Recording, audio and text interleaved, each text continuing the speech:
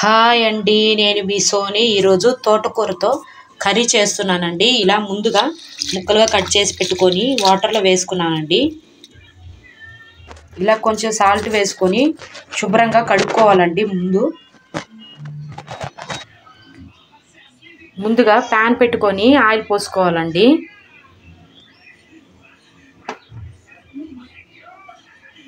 Four spoons సరిపోతుందండి ఎగ్జాక్ట్గా కొంచెం ఆవాలండి. ముందుగా కట్ చేసి పెట్టుకున్న ఆనియన్ ముక్కలండి. ఫోర్ వరకు తీసుకున్నాను. ఆనియన్స్ దూరగా వేయించుకోవాలండి. ఒక టూ వరకు ఎండిపించండి కొంచెం కరివేపాకండి. ఒక స్పూన్ వరకు అల్లం వెల్లుల్లి పేస్ట్ అండి. ఇవి మొత్తం దూరగా వేయించుకోవాలండి పచ్చివాసన పోయేంత వరకు.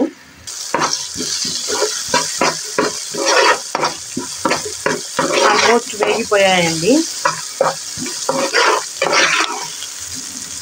ముందుగా కడిగి పెట్టుకున్న ఆకుకూరను మొత్తాన్ని ఇప్పుడు వేసుకోవాలండి. ఆకుకూర వేసుకొని బాగా కలిగి పెట్టుకోవాలండి.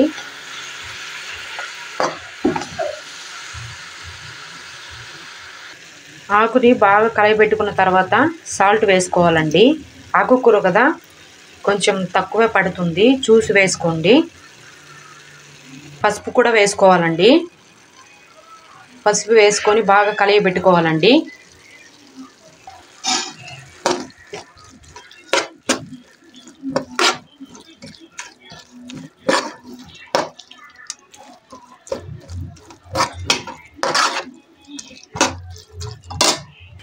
ఒక స్పూన్ వరకు కారం వేసుకోవాలండి. మీరు మీ రుచికి తగినట్లుగా వేసుకోండి.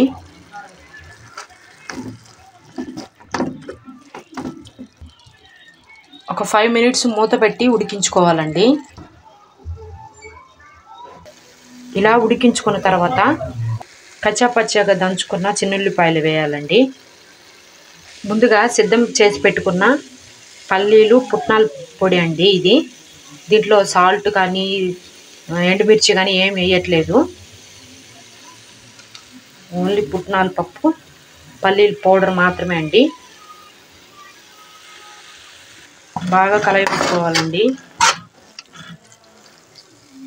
ఇలా బాగా కలయి పెట్టుకొని ఒక నిమిషం పాటు మూత పెట్టి ఉడికించుకోవాలండి. కర్రీ రెడీ అయిపోయిందండి.